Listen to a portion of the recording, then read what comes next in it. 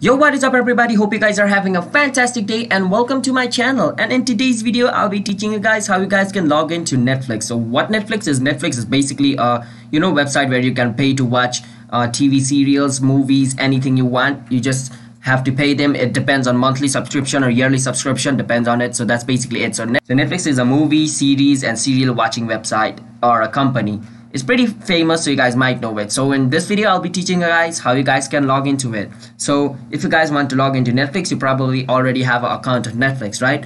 So it's basically simple. You can just you can just go to a search engine. It could be any search engine and go to this website called Netflix.com. Enter in it. And once you're in this website, you can click on the sign in button over here. Once you click on the sign in button, you can enter your account's email and password. After clicking on it, after entering it correctly, you can click on sign in and you'll be signed in to your Netflix account. So that's basically how you log into your Netflix account.